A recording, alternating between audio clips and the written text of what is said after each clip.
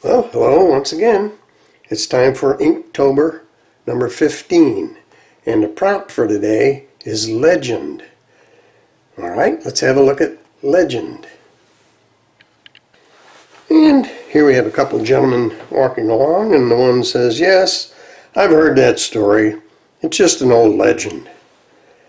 Uh, I suggest they look behind them. Anyway, that's my prompt for today. I hope you'll be with me tomorrow. We'll try another one. I will see you then.